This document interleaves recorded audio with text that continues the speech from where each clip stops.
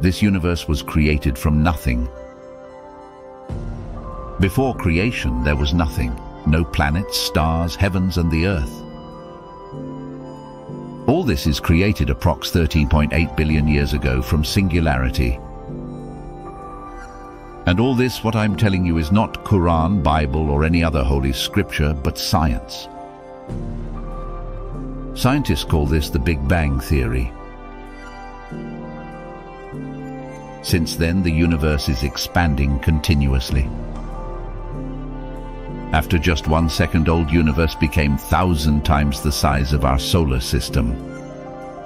At a temperature of 10 million Kelvin, but cold enough for quarks to form protons and neutrons.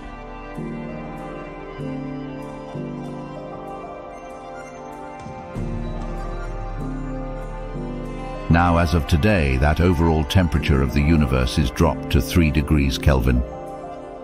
And this is the remnant, the afterglow of Big Bang which we could see on our old TV sets. If we could have microwave eyes, we can see every night Big Bang in the sky. We can see that explosion now as we have a way to see this cosmic glow with the naked eye. Switch your old television set and between channels. A significant portion of static you see on your TV is radiation from the Big Bang.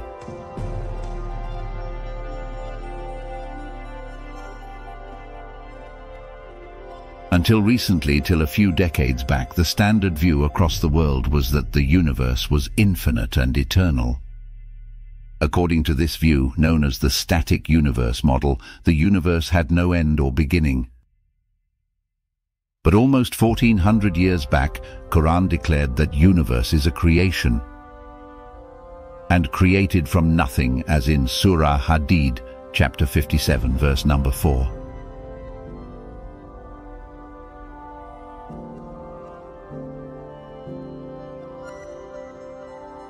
It is he who created the heavens and earth in six days and then established himself above the throne and that initially heaven and earth were like a lump of matter, and then God parted them as mentioned in Surah Anbiya, chapter 21, verse number 30. This is precisely what Big Bang Theory says.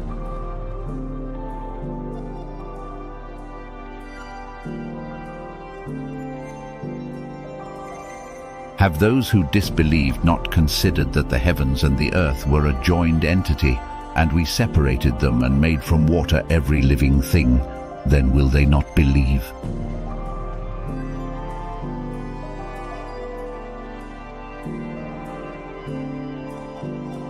The word ratak means sewn or stitched, mixed in each other, being closed up or blended. It is used to refer to two different substances that make up a whole. The word or phrase fatak is to cleave asunder or disjoin, unstitched, slit or disunite and rend apart. This implies that all that comes into being by splitting apart the structure of things that were sewn to one another. That is both. Heaven and the earth were at first subject to the status of Ratak, then they separated Fatak with one coming out of something.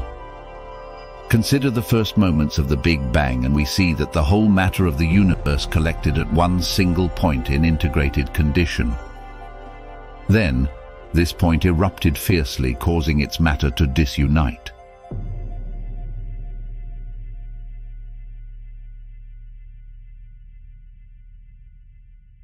Also another miracle in this verse 30 of Surah Anbiya is the use of sentence, have those who disbelieved not considered, that shows and implies that this fact of the universe would be discovered by those who didn't believe in this very fact of creation from nothing.